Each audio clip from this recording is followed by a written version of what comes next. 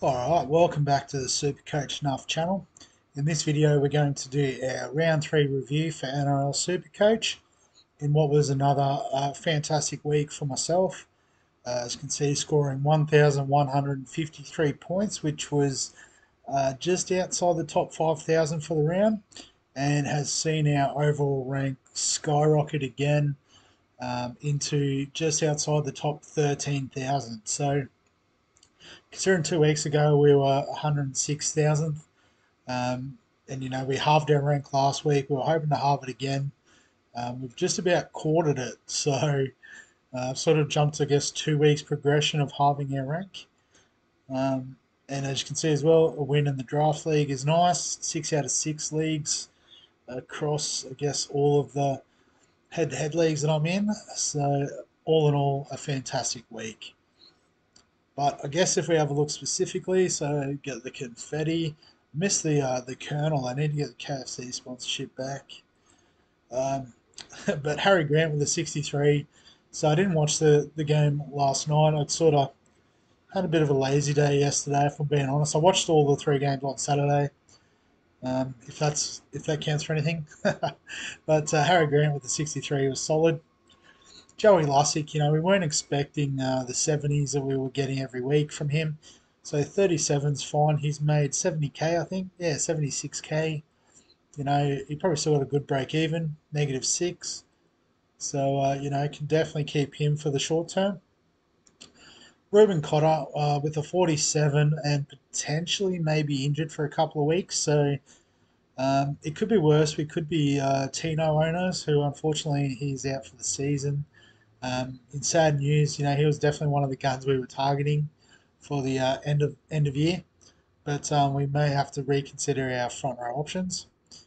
Um, and Terrell May, you know, again, a bit below his first two rounds, but 44 for um, his price We'll absolutely take that. Uh, Liam Henry was really impressive on the weekend with 55 points. So he's made a good chunk of cash and he'll have a negative break even. So negative seven. So, you know, wasn't overly convinced in the preseason, but, uh, you know, he's been a good pickup. Uh, Sam Hughes with the 23. So he's just going to be a slow burn. You know, I think he'll he'll pick up minutes throughout the season, but um, at the moment he seems to be you know the fourth forward. You know they've got Mann and and Curran who play big minutes, and uh, seemingly Curtis Morin preferred over Hughes at the moment. But um, yeah, I guess you know it's only going to take one sort of more injury in the middle forwards, and uh, you know Hughes will be in for more minutes. In the second row, so Viliami Kikau, uh, 82 points. I guess this is what we sort of envisaged, envisaged him being able to do. Um, but I guess, you know, it wasn't just obviously the try, but the kick pressure.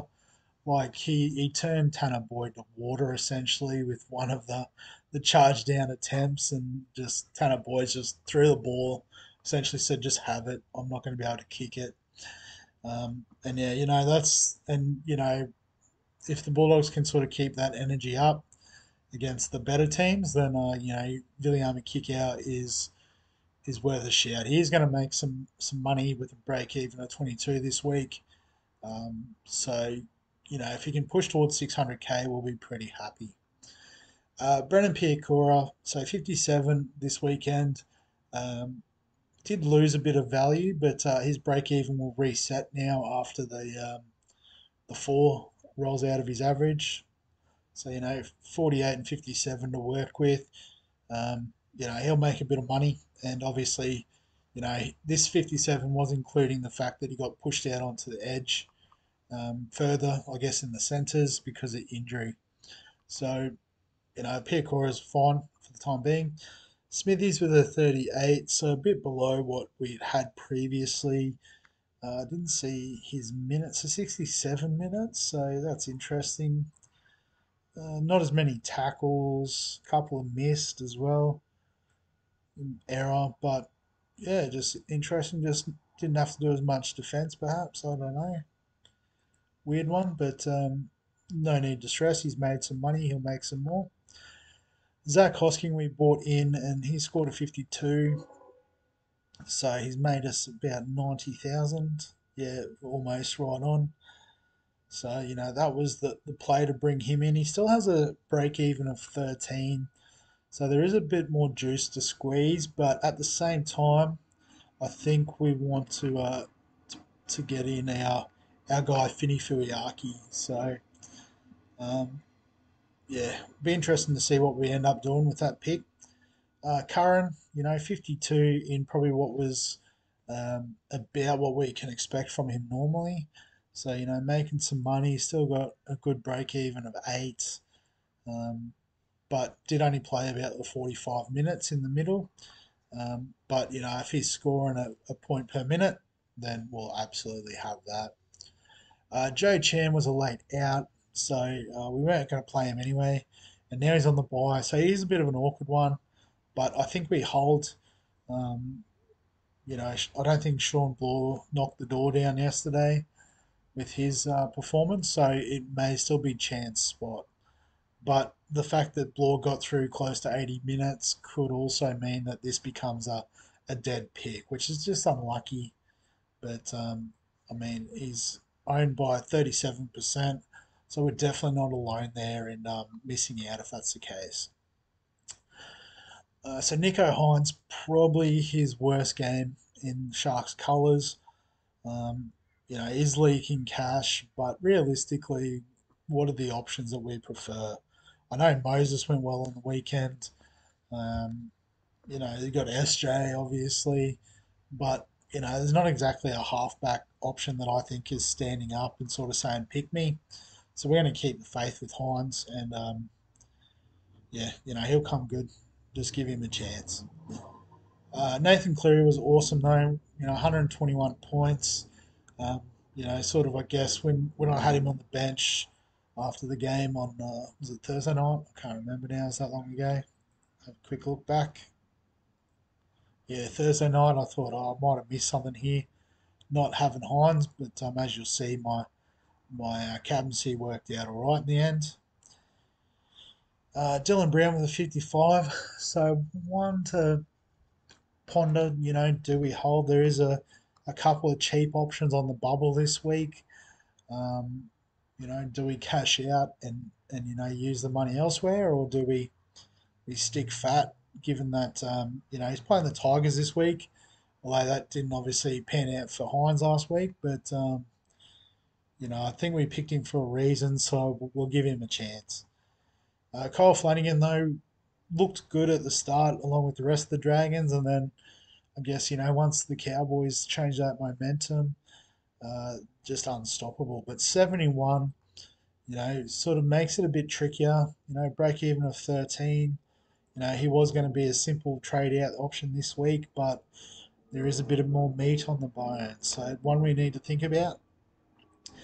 RTS, you know, he's come back. He's 79. You know, had a rough first week, but um, this is why we picked him. So, no stress there.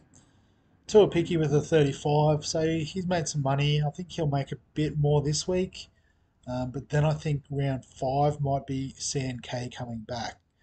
Might be as soon as this week. I'm not 100% sure. Definitely one to keep an eye on. Uh, ben Trbojevic, so only getting the 19. I uh, didn't see the game yesterday, so I'm not sure what happened. If he maybe he slid out onto the edge again. Played 61 minutes, so got benched, I'm guessing. But uh, let's see, 16 tackles, only five hit ups, a couple of errors as well, wasn't helpful. So I just realised no hit ups over 8 metres. That's weird. Hmm, don't know what happened there. But probably not one to hit the panic button on. You know, well, he's made 80k, was it? Oh, 30, oh, that's right, he started at 270-ish. 37 and a half. You know, break even at 39 is not ideal, but um, might have to do some more research into that and uh, get back to it. Um, Bostock ended up being the, the loophole option um, for reasons displayed below. Um, but it did mean we, we had the Bulldogs guys on the bench, unfortunately. Hutchison with the 64. So it must have been some attacking stats in that. I can't remember him running the ball too often. A try assist, but doing his defensive work as always. Um, oh, they ran the ball 14 times. There you go. Didn't realise. But uh, yeah, try assist, the line break assist as well, which, you know, when they're scoring points, that's what you expect and why we sort of had him in the uh, the team. And, you know, he's got a nice break even now.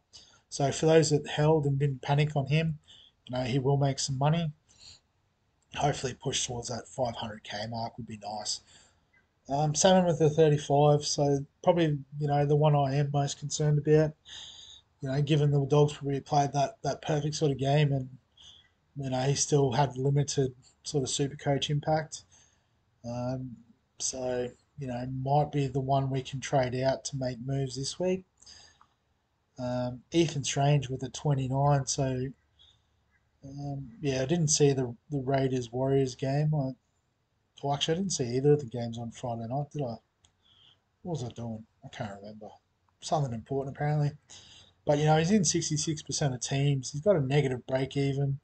So, you know, he'll have another breakout game and, and lifting in price again. So don't uh, stress on Strange. Uh, but James Tedesco, we bought in last week for Ponga, and, you know, it turned out to be, I think, the right call, even though Ponga did pretty well on Sunday Ave. Um, but Tedesco with the 135, you know, pretty easy VC option. Um, did mean that we ended up with, I think, Sam Hughes is 23, but um, you know, that's perfectly okay. Uh, Papenhuyzen with the 78, you know, and a beaten side seemed to be pretty good from what I, I saw. Um, this I did sort of see snippets of the game, but then got distracted. Um, but yeah, you know, he was just always there and thereabouts. Particularly, I think with the halves out, he probably tried to do a bit more, which was, uh, you know, good for us as super coach owners. Um, but we'll have a look at the, the game day results. Obviously, as, a, as you saw, 6 out of 6 in the head to heads.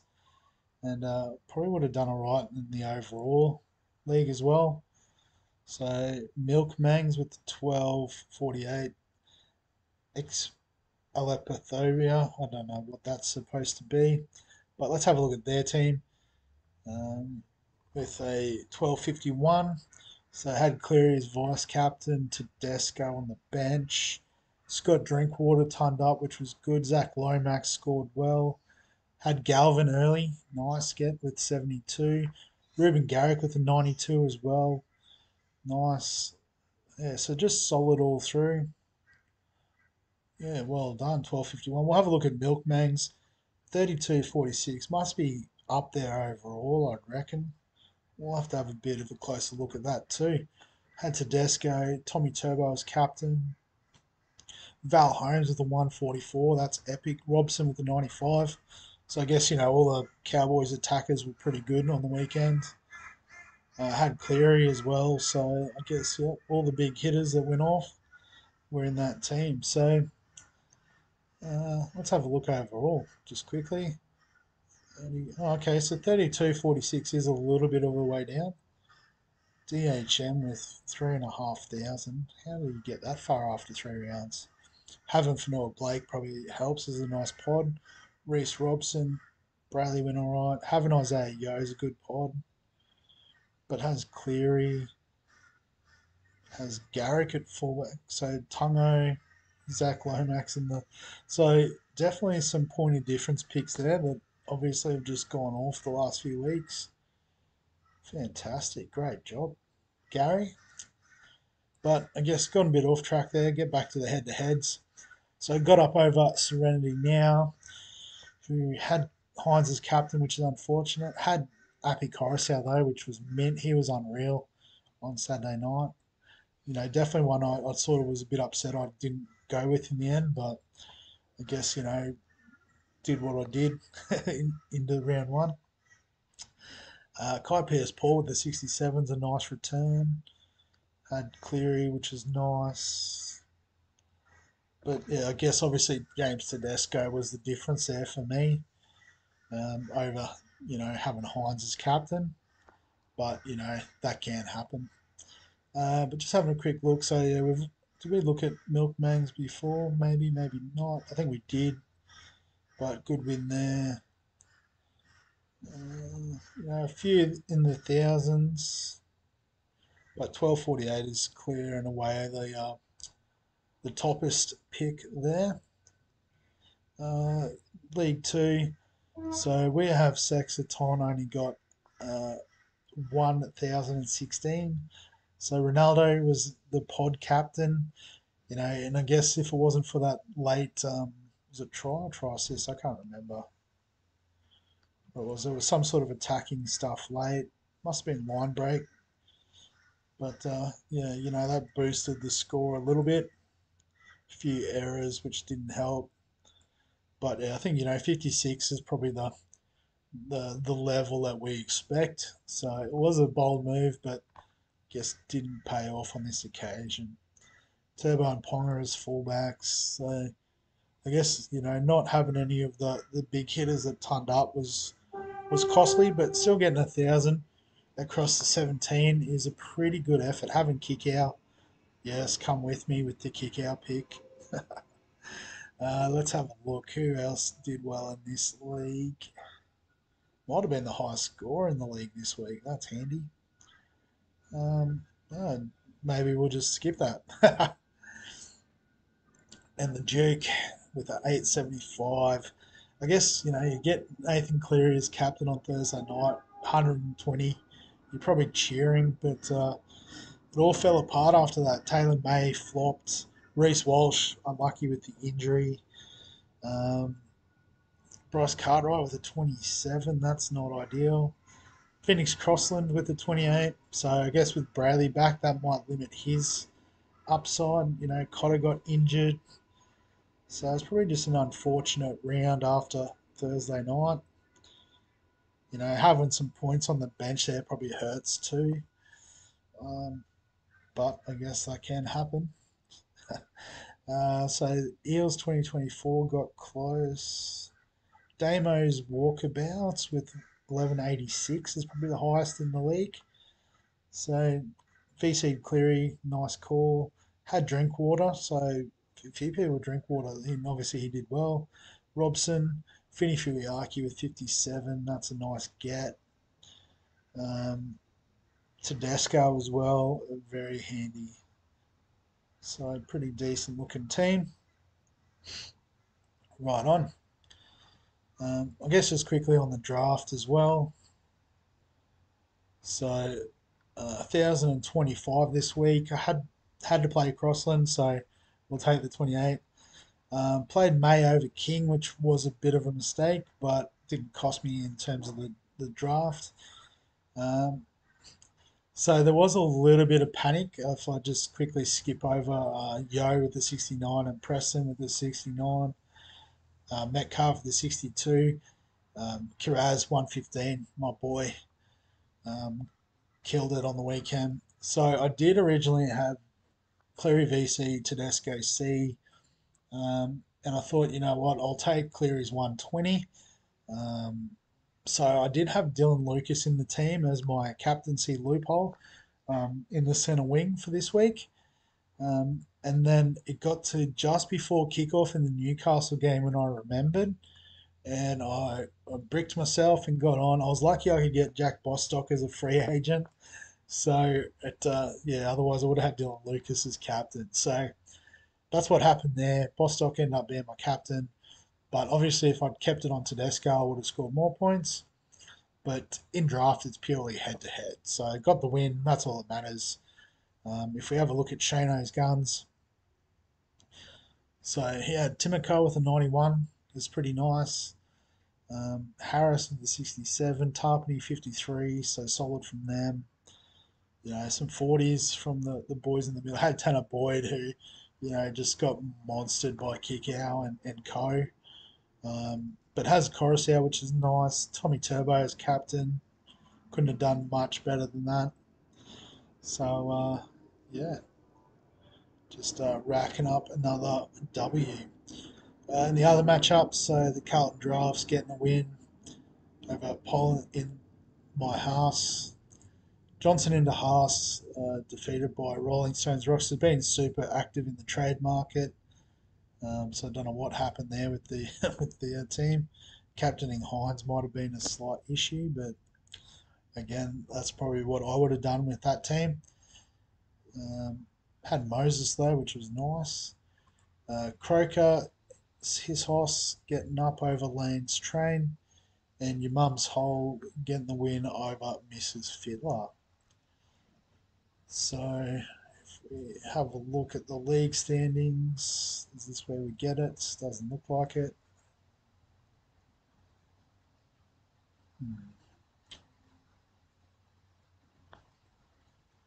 Um, oh, view ladder. That's what I. It's because I got the.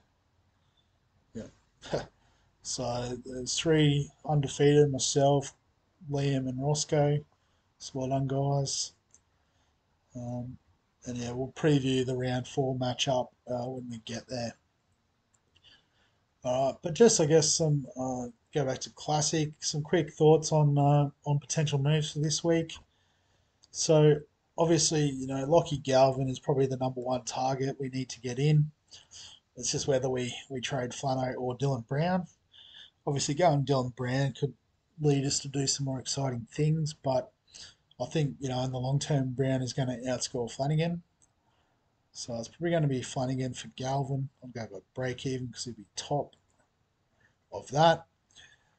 So we've got 234k in the bank. Obviously, you know, we could have done like a Cotter up to Tino or something like that, getting close. But uh, that's not on the radar now.